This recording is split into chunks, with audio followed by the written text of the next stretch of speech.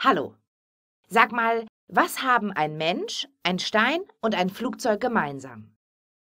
Da fällt einem erst einmal nicht viel ein.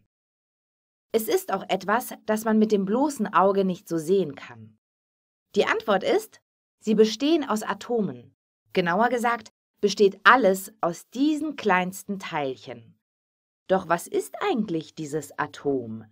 In diesem Video lernst du, woraus ein Atom besteht und wie ein Atom aufgebaut ist. Atome gab es schon immer.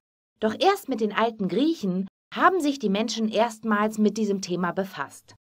Ohne die Atome sehen zu können, kamen sie auf die Idee, den kompletten Film und viele weitere findest du auf www.sofatutor.com. Über 7000 Lernvideos erklären dir, was du für gute Noten wissen musst. Tests überprüfen dein Wissen nach jedem Video.